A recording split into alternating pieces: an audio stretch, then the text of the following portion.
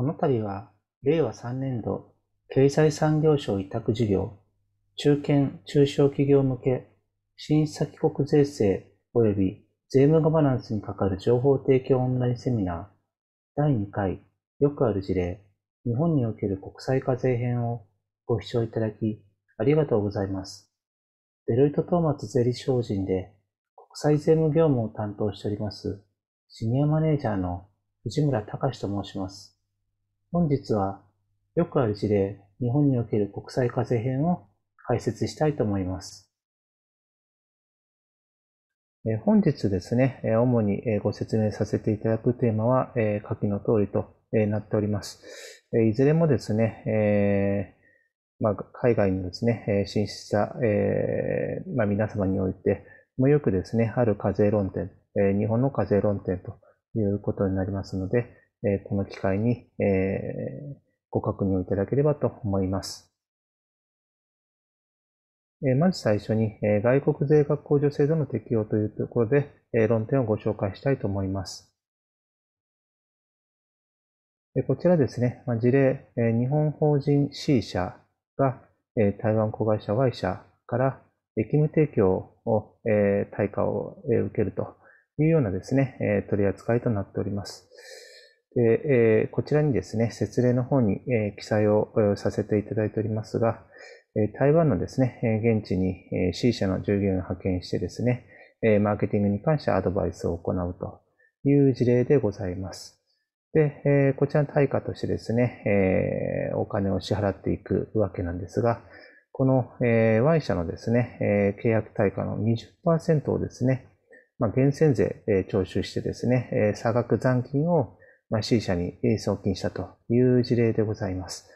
でこちらですね、台湾で源泉税で、日本でもこちら義務提供対価は法人税の課税対象ということになりますので、まあ、あの、このままいくとですね、二重課税ということになります。で、えこちら二重課税ですね、え回避するためにですね、えもしえ外国税額控除が日本で適用することができれば、二重課税が回避できるということになりますが、あの、果たしてですね、そのような取り扱いは可能かどうかという説明でございます。で、次のページですね。今こちらのページで、回答をですね、記載しているというところでございます。えー、残念ながらですね、えー、まあ、緑の方の、えー、字で冒頭に記載しております通り、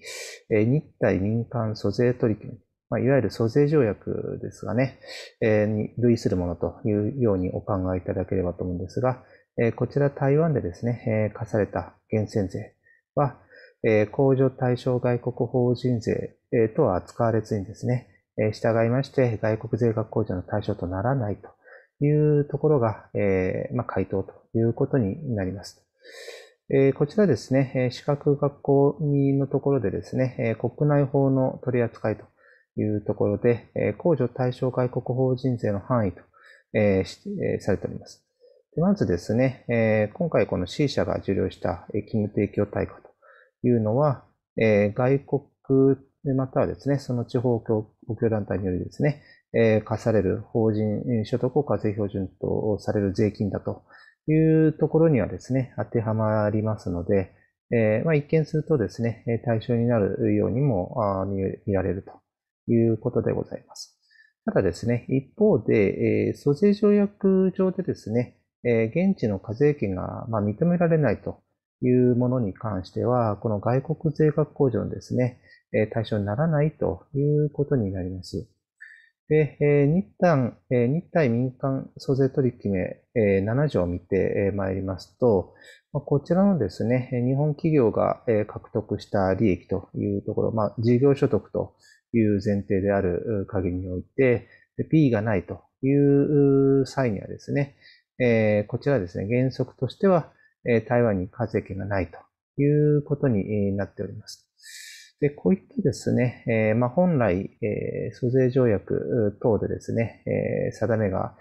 え徴収できる定めがない、え税金を、まあ、勝手にですね、現地で払ってしまったというように、え取られられてしまう場合にはですね、え外国税額控除の適用ができず、二重課税のですね、え状態が、え発生してしまうという点ですね、えご留意いただければと思います。え続きまして、え海外子会社の生産に伴う、ま日本の課税関係というところで、え事例をご説明したいと思います。こちらですね、ま、日本の親会社 A 社がですね、えオランダ B 子会社を、えまあ、生産していくというお話でございます。でまあ、B 社、え生産してまいりますので、まあ、財有財産ですね、す、べ、てを、まあ、A 社に分配するというところでございまして、まあ、本来であればですね、まあ、一定の源泉税が発生するというところですが、まあ、あの条約がですね、え適用された結果、えー、減税税発生しないという事例で、えー、ございます。で、こちらですね、まあ、B 社もう一つは、前提がございまして、保有資産のですね、売却をしているというところでございます。で、こちらですね、えまあ、制裁に伴い、B 社はですね、非課税所得一切ないという前提で、ございます。で、この時にですね、まあ、オランダのですね、課税関係は一旦ともかくとして、日本のですね、親会社はどのようなですね、課税が起こるかというところを、ま、まずは考えていきたいと思います。で、え、下の方にですね、え検討のポイントというところを、え、記載しておりますと。まずですね、え生産によって、ま、キャッシュが入ってくるというところなので、ま、ここのキャッシュのですね、取り扱いが、ま株主とですね、どう課税されるのかという論点があります。え一部ですね、まあ、配当と整理され、まあ、一部は株式の譲渡と、え整理されるということで、まあ、こちらそれぞれですね、課税環境を、え当てはめる必要があるということでございます。でもう一つですね、外国会社合算税制への影響というところを考えないといけないというところと、あとはですね、まあ、子会社寄付金というところですね、まあ、もし、えー、こちらの生産にあたって、まあ、債権放棄等がですね、えー、生じるような場合にはですね、こういったところも、えー、考えないといけないねというところでございます。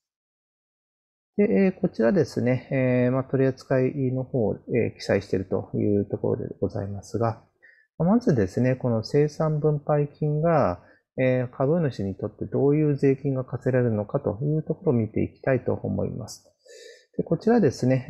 えー、先ほど、えー、触れさせていただきましたが、えこのキャッシュですね、あの、配当という部分と、えー、こちら生産していく法人のですね、株式を、まあ、譲渡したという取引の、まあ、複合的な取引として、まあ、整理されるというところでございます。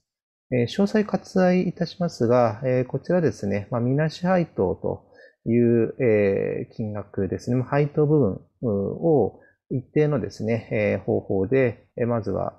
計算して、そのですね、対価との差額を、株式のですね、ま譲渡対価というところとするということでございます。株式、みなし配当はですね、まあ、母価等は関係ありませんので、まあ、配当相当額のですね、まあ、一定の条件を満たすということは、えー、必要になりますが、95%のですね、部分が免税になると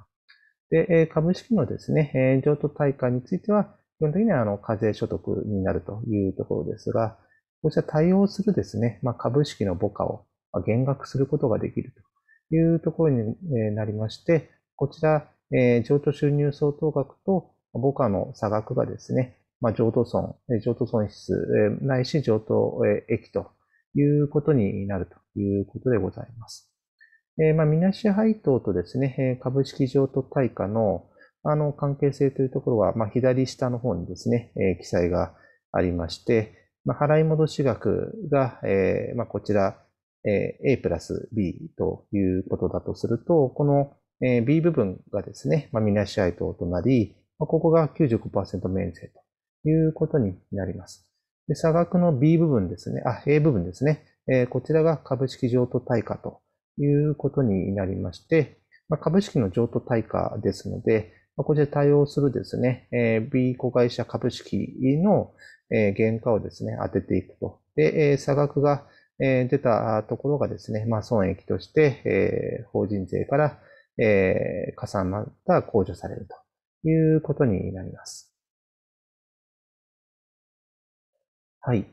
え、ー、と、こちらですね、また追加の留意点というところで、えー、子会社株式母価減額特例の適用というところも、えー、確認をする必要があるというところでございます。また別の事例でですね、あの、こちらについては、ま、詳細ご説明したいと思いますので、まあ、ここでは触りだけというところになりますが、えー、50%超のですね、支配関係を基礎とする、まあ、親会社が、えー、子会社から受けた、まあ、一定の配当はですね、えー、こちら非課税相当額について、まあ、母価をですね、まあ、すり減らしていくというような、まあ、取り扱いも、えー、一定要件、えー、該当してしまうと、まあ、適用されるというところでございます。まあ、令和2年税制改正からですね、導入された制度ということになっております。で、あとはですね、外国会社合算税制の適用というところにも留意が必要ということになりまして、仮にですね、B 社の方で課税が免除される取引が出てくるということになった場合ですね、例えばオランダであれば租税負担割合が、まあ、の通常であればですね、えーまあ、20%を超えてくるというところが、一般的なのですが、例えばですね、非課税となる、資本参加免税扱いのですね、キャピタルゲインがあるというような場合には、あの、ここのですね、租税負担割合が20%を切るようなこともですね、えー、あり得るということでございます。あの、租税負担割合ですね、えー、分母がですね、所得、分子が租税ということになり、まあ、所得はですね、非課税、免税のですね、所得も入ってくるということになりますので、えー、その国のですね、えー、実効税率よりも、えー、租税負担割合が低くなるということも、まあ、往々にしてあるということでございますので、こちら注意していただく必要があるということでございます。あの、追加でですね、えー、またちょっと特徴的なところとしては、えー、もしですね、この生産に伴って、えこちらオランダ法人がですね、実態が非常に乏しくなると。えー、まあ、役員もいなければですね、えー、まあ、事務所も、まあ、生産してしまっているとというようなですね、え、そういうような場合にはですね、え、まあ、一定の場合に、え、トリガー要件にですね、えー、抵触してしまうと、えー、租税負担割合がですね、20%以上30%未満でもですね、えー、合算税制の対象になってしまうということもあり得なくはないということになりますので、えー、この外国会社合算税制の取り扱いというのも非常にあの、えー、留意が必要ということになります。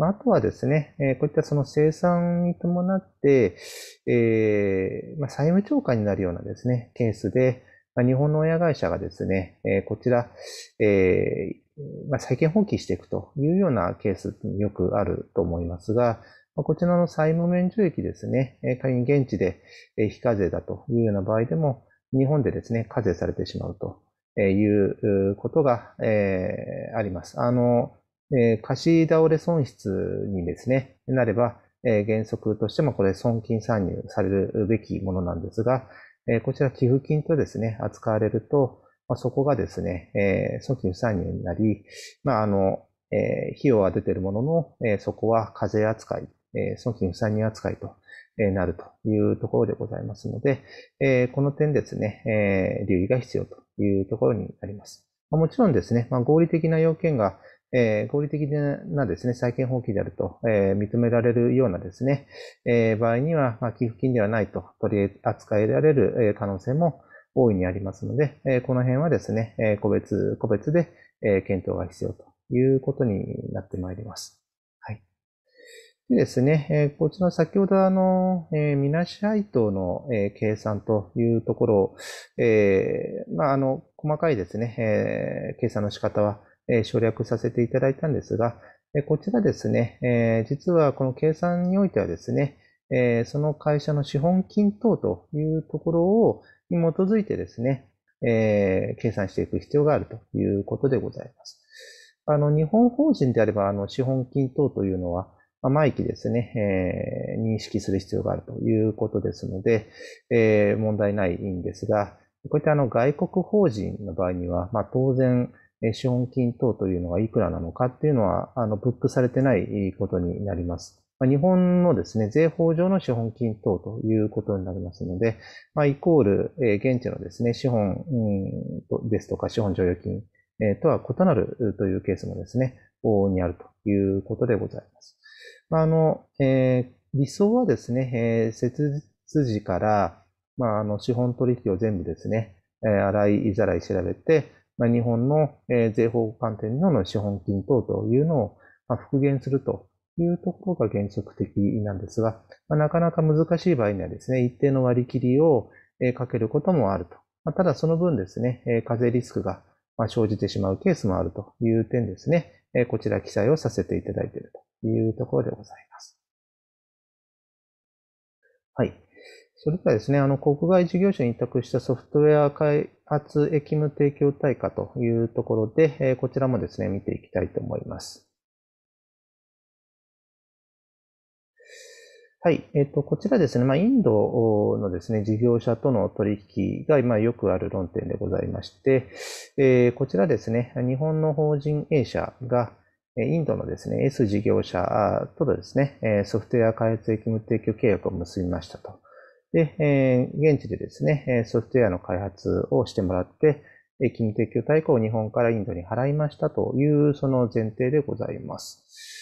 でそうですね、あの、役務提供対価のですね、え支払いが基本的にですね、あの海外でこ、えーまあ、海外のですね、役務提供対価、えー、海外で実施された役務提供にかかる対価を、え、日本法人がですね、外国の事業者に払うという場合には、ま、原則としてはですね、え、国内源泉取得にま該当しないというところになります。ただ、え、租税条約のですね、規定において、ま、異なるですね、条項が、え、設けられているようなケースも実はよくありまして、ま、インドはその典型例ということになります。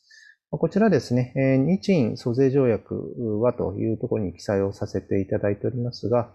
これ使用量のですね、条項においてですね、こういったあの技術指導契約というところが、あの、日本でのですね、課税権というところが、まあ、認められるというところが、えまあ、明記されているというところになります。えすなわち、役務提供がインドで、行われていても、日本でですね、源泉税を徴収しないといけないというところになる可能性がありますので、こちらですね、え留意が必要だというように考えられます。またですね、えっ、ー、と、こちら、えー、もしですね、えー、S 事業者、まあ、こちらに抵触してしまうということになると、まあ、仮にですね、日本に P がなくても、まあ、日本でですね、申告納税しないといけないということになる可能性がありますので、えこういった取引ですね、えやる場合には、えよくあの取り扱いを注意しないといけないというところでございます。で、こちらですね、欧州グループ会社間のクロスボーダー合併実施に伴う日本での課税関係というところを記載させていただいております。はい。えっ、ー、と、こちらですね、英国法人とドイツ法人が合併をしましたという前提でございます。こちらですね、えー、前提としてですね、あの、今は英国法人、英国はですね、まあ、あの、EU から抜けてしまったというところでございまして、この、え EU のですね、にまだいた時代ではですね、この英国法人とまドイツ法人の合併というところは、まあ、あの、よくですね、行われていたというところになります。で、こういった場合にですね、こちらのその合併がですね、この日本の親会社で、まあ、どのようにですね、取り扱われたのかと、取り扱われるべきだったのかというところは、実はですね、よく考えないといけないというところでございます。で、仮にですね、あの、ここの、えー、合併がですね、日本の会社法に、えー、照らしたときに、あの、どういう再編になるのかと。まあ、合併になれば、まあ、合併ということになりますし、まあ、事業譲渡と整理すべきであれば、まあ、事業譲渡ということになってしまいますので、こちら法的性質によってですね、課税関係が変わってきてしまうということになります。はい。まあ、他にもですね、まあ、株主課税というところ、えー、外国会社合算税制の論点というところも出てきますので、こういったですね、えー、国外の、えー、まあ、クロスボーダー合併、え、ないし、国外の同一国による、まあ、合併再編というところでも同様なんですが、え、この外国でのですね、組織再編行為というところが、まあ、日本でどうなるかというところはよく注意しないといけないということでございます。はい。で、株主としての課税というところでございますが、まあ、これ法的性質によってですね、まあ、合併という性質であればですね、えー、まあ、それは、あの、対価、金銭等の対価がなければですね、例えば、あの、課税がですね、えー、まあ、繰り延べられるですとか、えー、的確であれば、えー、繰り延べられるとか、まあ、そういったですね、えー、話が、まあ、あるというところになります。はい。逆に事業譲渡では事業譲渡なりのですね、えー、株主課税が生じてくるということになります。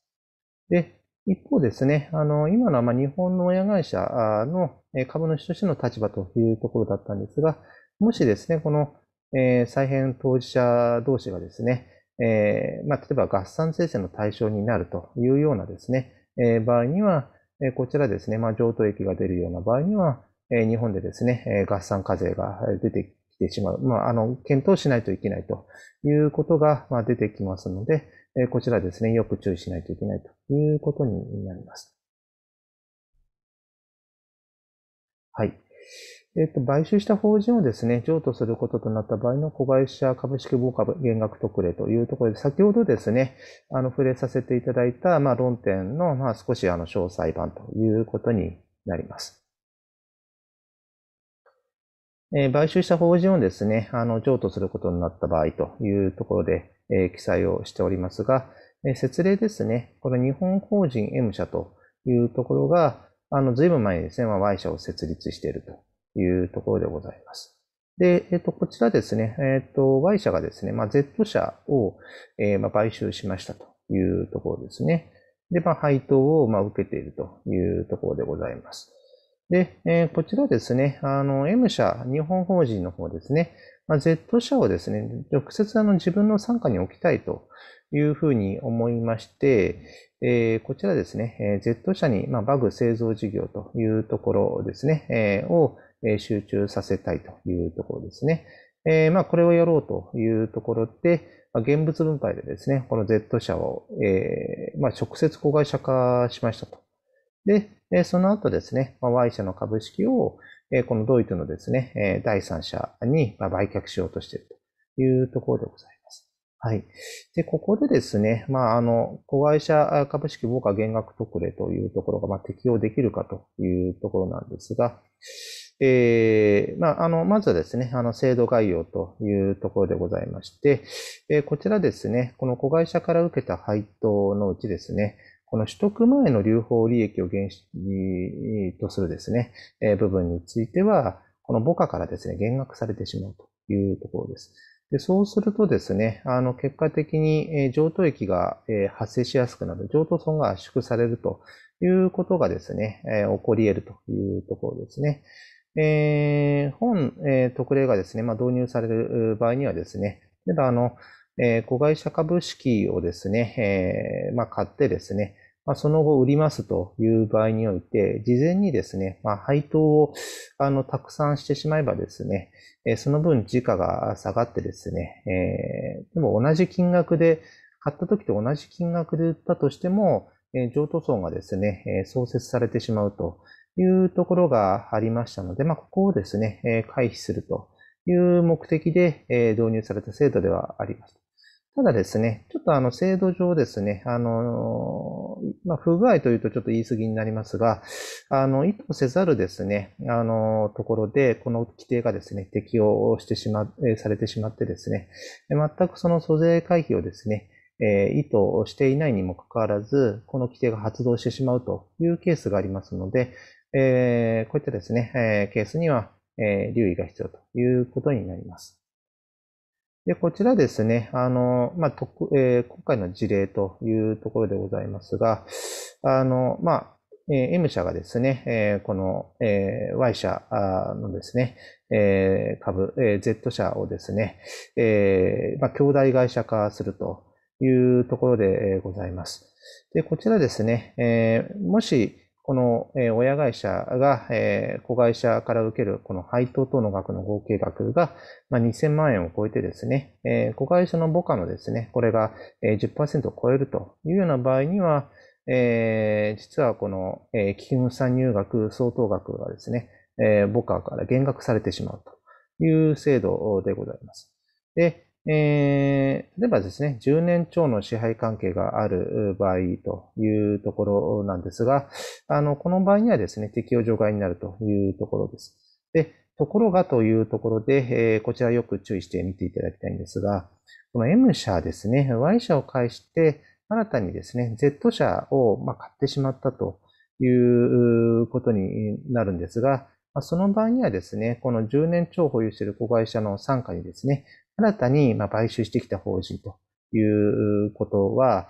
こちらのですね、適用除外基準を、まあ、あの、満たさないということに実はなってしまうというところでございまして、こちらのですね、特例の適用リスクというところが、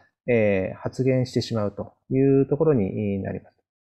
えこういったところですね、なかなかあの、子会社株式、え子会社母価減額特例というところは、まあ、いろいろですね、あの、まあ、大丈夫だろうと、普通に考えて、まあ、思われるところもですね、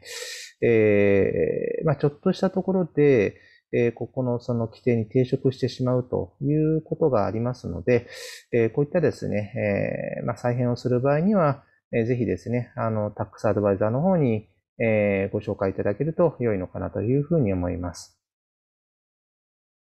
はい。えー、次ですね、出向元法人による出向等の給付負担に関する事例というところでございまして、えー、こちらですね、日本法人 K 社が、えー、タイの子会社 S 社に、えーま、出向者を派遣しているというところですね。で、え、当然ですね、え、こちらのあの出向先のですね、え、このタイの子会社では、この出向者のですね、給料を負担しているということになっております。ただ、あの、こちらですね、まあ、タイの子会社も、やはりですね、あの、現地の相場感というところがありますので、ま、全額ですね、この出向者の給与を負担するというところが、ま、できずにですね、まあ、一部は、えー、まあ、え、経営者がですね、あの、負担するというところになっているというところでございます。はい。で、え、この S 社のですね、え、負担分というところが、まあ、どう、え、決まっているかというと、このですね、S 社のこの職位ですね、え、等にですね、え、よってですね、決定された、まあ、給与テーブルでですね、え、決まっているというところでございます。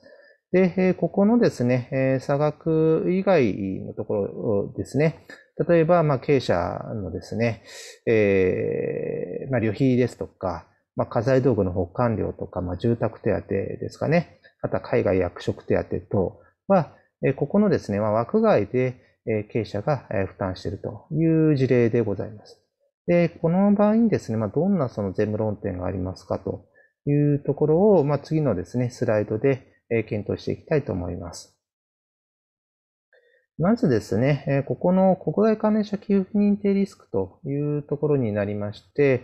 基本的にはですね、このお給料というのは、出向先のですね、法人で、原則としては負担しないといけないということになります。ま、ただですね、あの、一方で、まあ、なかなかその企業のですね、実務を考えたときに、まあ、すべてがすべてをですね、え、この出向先法人にですね、まあ、負担させられるかというと、あの、そうでもないケースもありまして、まあ、一定の場合にはですね、あの、税務当局も、まあ、ここの格差補填というところを、まあ、認めるという実務もあります。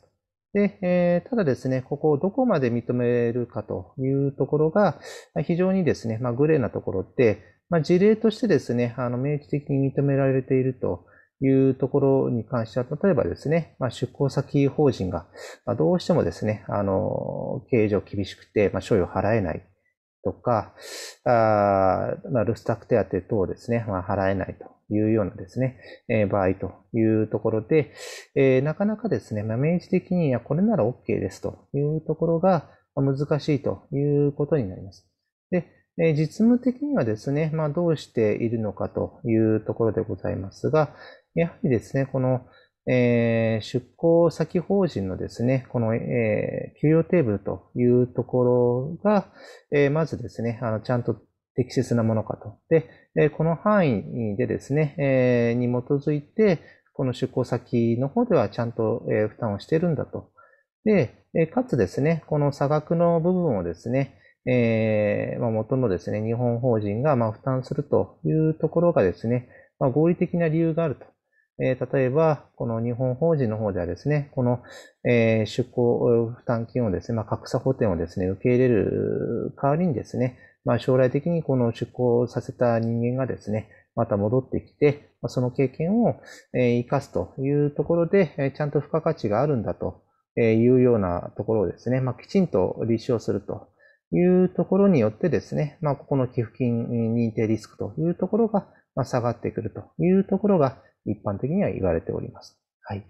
で、もう一つですね、まあ、今のは日本側のリスクというところでございますが、えー、現地側ですね、出向先国においても、まあ、リスクがあるというところでございます。で、出向者はですね、まあ、当然出向先法人のですね、指揮命令系統化で仕事をするということになるんですが、まあ、実はですね、この出向元からもですね、いろいろ指示が出ていたりとか、あの、業績評価等をしているというような場合には、えー、ここのですね、出向者の方が、え、はたかもですね、あの、出向元の、え、意思決定に基づいてですね、え、働いてるんじゃないかというように見なされてしまうケースも、まあ、あります。で、その場合にはですね、出向元法人の P がですね、出向先国においてあるというようにですね、認定されてしまう可能性もありますので、この辺のですね、両方のバランスを見ながら、ま、どのような形でですね、出向者に働いていただくかというところをですね、まあ、決めていく必要があります。一般的にはですね、この辺をですね、十分に考慮した上で、え出国規定等をですね、え締結して、え個別個別の事象に応じてですね、適切なアクションを取るというところが求められるところになります。はい。え海外会社がですね、あの、混合配当を実施した場合の、まあ、日本の課税関係というところで、こちらですね、まあ、最近、えー、まあ、最高裁判例が出まして、えー、まあ、取り扱いもですね、あの、変わりましたというところになりますので、えー、ご紹介させていただきます。えこちらですね、まあ、日本法人 P 社がえ、海外子会社え S 社からですね、まあ、配当をまあしてもらったというところでございます。でこの配当はですね、利益剰余金原資の配当金と、資本剰余金原資の配当金を、まあ、それぞれ実施しましたという事例でございます。で、これ、効力発生日がですね、同日だったんですね。一方ですね、まあ、それぞれ利益剰余金配当は利益剰余金配当と、資本剰余金配当は資本剰余金配当いうことで、まあ、それぞれ別々のですね、決議として実施したというところになります。まあ、こちらの事例のですね、あの数字を入れてですね、記載させていただいておりますが、資本剰余金が400、利益剰余金が1000というところで、実施しましたよというところでございます。はい。で、えー、こちらですね、あの、P 社はというところ、1、2、3、えー、5つ目のですね、あの、資格のところでございますが、えー、こちらですね、あの、決議事項、ま2つにこれ区分されてるんだから、利益剰余金をですね、現実とする配当と、えー、資本、えー、剰余金をで現実とする配当をですね、別々にですね、えー、やりましたという整理をですね、えー、してですね、申告を行っていたと。いうことでございます。で、一方ですね、これ税務調査が入りまして、この税務調査官は何と言ったかというと、これ一緒の日にですね、あの、効力発生日同日ということなので、全額がですね、資本の払い戻しに該当するのではないかという指摘を受けて、まあ、実際構成処分を、えー、してきたということでございます。で、まあ、あの、どっちでも変わらないじゃないかとあの、一瞬思われるかもしれませんが、あの、配当にですね、えー、されると、まあ、あの、無条件でその配当金という、利益条件配当金は、あの、益金不算入の規定が適用されると。一方、あの、資本剰金原資の場合は一部がですね、あの、配当扱いされるということで、えー、まあ、利益剰金の部分をですね、えー、配当扱い一旦全額して、まあ、その後に資本剰余金の配当が起こったという整理の方がですね、課税関係上有利になるというところで、まあ、争われたというところでございます。はい。でですね、こちら、まずですね、あの、実はこの判例が出たというところ、まあ、二つの争点が、ありまして、まあ、そのうちの一つが、えここのですね、え利益剰余金原資の、え配当と、まあ、資本剰余金原資の配当、まあ、それぞれですね、え同日に実施した場合にはどうするんだというところでございまして、まあ、ここはですね、えこれはあの、え全額をですね、資本の払い戻しをしたというものと認識するのが相当であるという見解が示されました。これですね、まあ、条文をですね、あの、まあ、どう整理するかというところになりますが、やはりですね、あの、一つの、えー、取引だということで整理しますと、えー、まあ、法人不利、えー、当局有利というようなですね、まあ、結果となるというところでございますので、まあ、こちらですね、えー、まあ、税金が増えてしまうというところですね。はい。あの、納税者の主張をま認めてしまうと、まあ、本来あるべきその税コストがま圧縮されてしまうよということで、まあ、これは否認してきたというところでございます。はい。でですね、あの、一方でというところなんですが、まあ、実際のですね、えー、判例はですね、あの、まあ、納税者がですね、こちら、あの、総書、えー、まあ、勝ったという事例でございます。で、えー、これなんで勝てたかというと、このあの、実際の事例がどうだったかというところなんですが、あの、こちらですね、海外のですね、子会社の利益積み立て金マイナスだったという事例で、えー、ございました。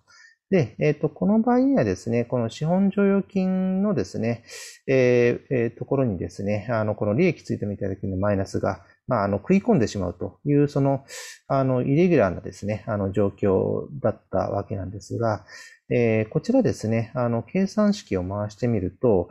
えー、この資本剰余金からのですね、えー、原資、えー、部分以上の金額がですね、えー、この、えー、株式の譲渡として、まあ、整理されると。いう、あの、まあ、少しですね、あの、条文の趣旨をですね、鑑みると、えー、おかしなことになっていたというところでございます。あの、今ですね、あの、条文の趣旨というふうに申し上げましたが、こういったですね、あの、まあ、資本をですね、えー、原資とする、えー、配当というところは、まずですね、この資本剰余金の、えー、減少した金額部分をですね、あの、上限として、えー、譲渡収入として扱うというところが、えー、精神としてございます。で、えー、例えばですね、資本剰余金が、えー、減少がですね、えー、200しかなかったというと、この譲渡、えー、株式のですね、まあ、配当部分と株式の譲渡部分、まあ、あの、二つにですね、性質を分けないといけないという話のですね、この株式の譲渡部分というのが、えー、まあ、上限でもですね、まあ、200までで、えー、打ち止めないといけないというようなですね、あの構成に、まあ、本来はすべきであったというところでございます。ただですね、こういったその利益積立金がまマイナスの状況だとですね、えー、この減少したこの資本剰余金以上のですね、金額が株式譲渡対価の額の方に割り付けられてしまうという結果になるということで、まこちらはですね、あの条文がそもそもまおかしいのではないかというところで、えー、ま納税者のですね、主張がま認められたというところになります。まあ、こちらですね、えー、序文のですね、まあ、取り扱いも、えー、変更になるえということが、えー、予定されているというところになります。はい。以上、第2回、よくある事例、日本における国際課税編を解説いたしました。本日解説した内容が、海外に事業展開する企業の皆様のお役に立てたのであれば幸いでございます。アンケートにつきましては、別途本セミナーの URL をお送りしたメールにリンクを貼り付けておりますので、そちらからご回答ください。お手数ではありますが、ぜひご協力をお願いいたします。また、本セミナーに関するご不明な点や、えご質問などがございましたら、アンケートフォームよりお問い合わせください。本日はご視聴いただき、誠にありがとうございました。